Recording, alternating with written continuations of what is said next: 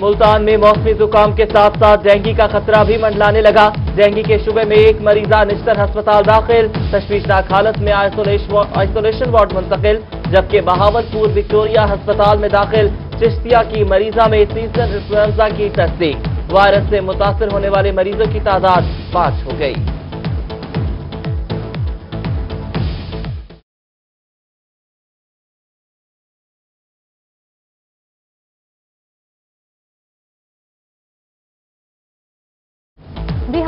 S you ہسپتال آوارہ کتوں کی ماسکا ہسپتال کے احاطے میں کتے آزاد گھومنے لگے ہسپتال آنے والے شہری غیر محفوظ جبکہ ہسپتال میں کئی ماہ سے کتے کاٹنے کی ویکسین بھی موجود نہیں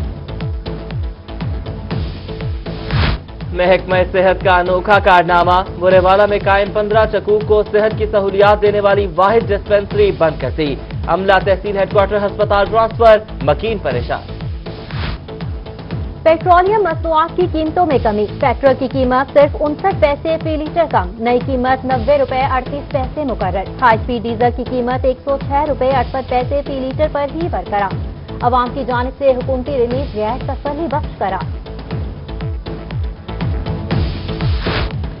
محکمہ تعلیم کی بے حسی انیس سو چھیاسی میں بننے والے government model primary school Kahror Pakka کے طالب علم سہولیات سے محروم طلبہ و طالبات فصلوں اور ناہموار راستوں سے گزر کر اسکول جانے پر مجبور، بچوں کو پریشانی کا سامنا، طلبہ اور اساتذہ کا حکومت سے راستہ بنانے کا مطالبہ۔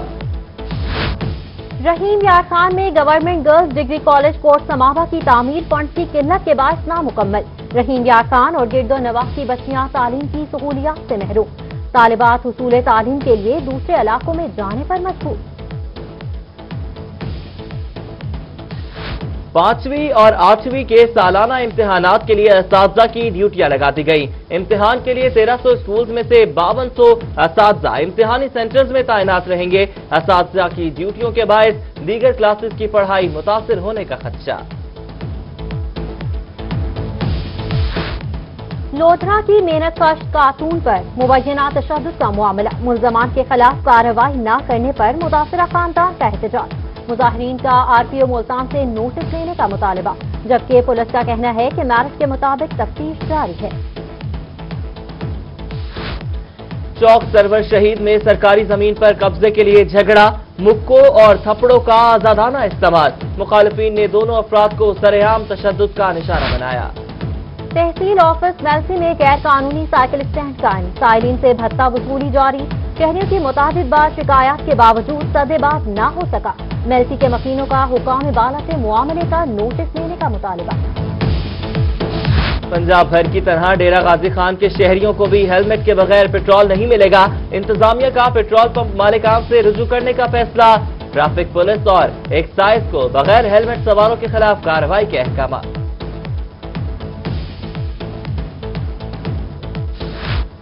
ملتان ڈویژن کے مختلف ریلوے اسٹیشن کے اسٹال، پارکنگ اسٹینڈ اور فارمیسی کی نئی نیلامی کرنے کا فیصلہ۔ نئی پارکنگ اسکیم کے مطابق Multan cantt railway station parking stand کو ڈیجیٹل کرنے پر غور۔ ریلوے اسٹیشن کے ٹھیکوں کی نیلامی چھ فروری کو کینٹ ریلوے اسٹیشن پر ہوگی۔ حکومت کی جانب سے حج پالیسی دو ہزار انیس میں سبسڈی ختم کرنے پر شہری نالا خود شریف کے مکینوں کا معلومات کے لیے ٹریول ایجنسیوں کا رخ۔ سبسڈی ختم کرنا حاجیوں سے زیادتی قرار۔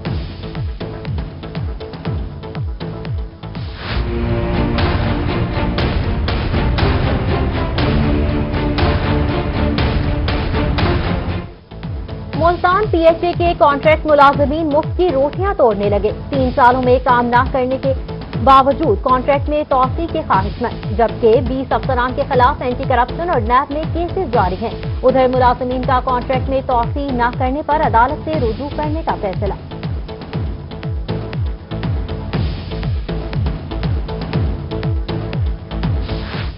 ملتان میں سرکاری بیلدار پرائیویٹ کاموں میں مصروف سڑکوں کی دیکھ بھال کرنے والے پچاس سے زائد بیلدار افسران کے گھروں کو چمکانے لگے۔ یونین کونسل ستتر کے چیئرمین عبد المجید کی جانب سے بیلداروں کی ڈیوٹیوں سے غائب رہنے کے حوالے سے قرارداد جمع۔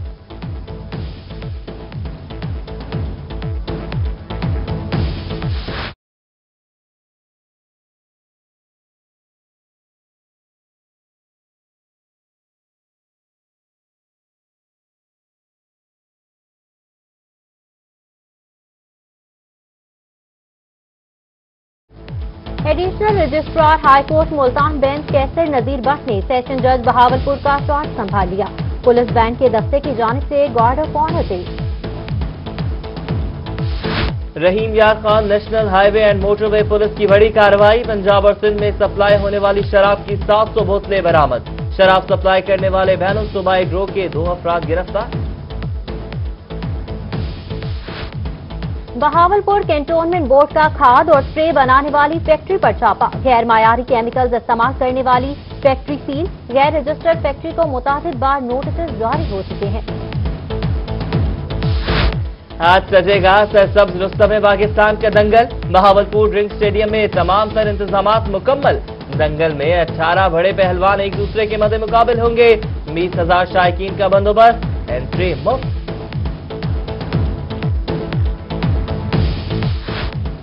بہاول پور کے مقامی فنکاروں کے لیے خوشخبری۔ وزارت اطلاعات و ثقافت کا آرٹسٹ ہیلتھ انشورنس کارڈ کے اجرا کا فیصلہ۔ بہاول پور آرٹ کاؤنسل کی جانب سے فنکاروں سے خواہش طلب۔ تیس سال سے زائد عمر کے فنکار درخواست دینے کے لیے اہل کرا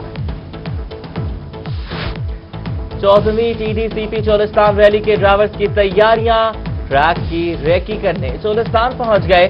گزشتہ ریلی میں بی کیٹیگری کے فاتح شاہین اقبال کی ڈرائیورز کو مشکل ٹریک پر سبھل کر گاڑی چلانے کی ہدایت۔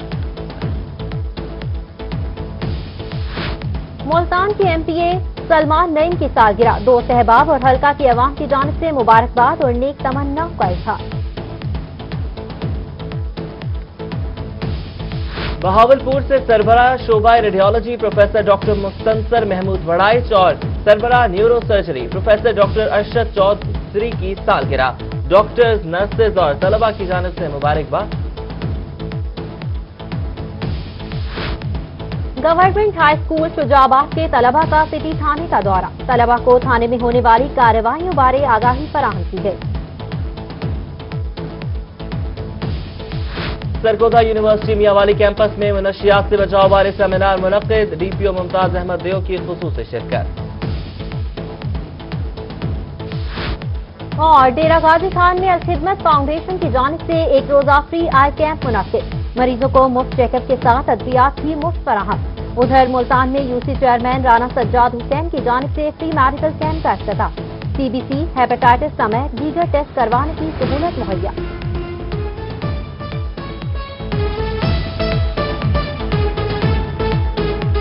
بلٹن کا باقاعدہ آغاز کریں۔ سب سے پہلے آپ کو بتائیں کہ بہاول پور میں سیزنل انفلوئنزا وائرس کے وار جاری ہیں۔ وائرس کے شبے میں داخل ہونے والی چشتیا کی مریضہ میں وائرس کی تصدیق ہو گئی ہے۔ وکٹوریا ہسپتال میں وائرس سے متاثر ہونے والی مریضوں کی تعداد پانچ ہو گئی ہے۔ تین مریض زیرے علاج ہیں۔ سوال سے تفصیلات جانتے ہیں۔ اتھر لاشاری سے۔ جی اتھر لاشاری اپڈیٹ کیجیے گا۔ سیزنل انفلوئنزا کے وار بہاولپور میں تاحال جاری ہیں اور ایک اور مریضہ میں سیزنل انفلوئنزا وائرس کی تصدیق ہو گئی ہے۔ پچانوے فتح چشتیاں سے تعلق رکھنے والی مریضہ پینتیس سالہ فاطمہ بی بی کو سیزنل انفلوئنزا کے شعبے میں رات گئے یہاں پر ایڈمٹ کیا گیا اور اس کے بعد آج جو ابھی ان کی رپورٹ آئی ہے، اس کے مطابق ان میں انفلوئنزا وائرس جو ہے، اس کی تصدیق ہوئی ہے۔ اس طرح بہاولپور میں جو پوزیٹیو کیسز ہیں انفلوئنزا وائرس کے، ان کی تعداد پانچ ہو گئی ہے اور اس وقت تین مریض جو ہیں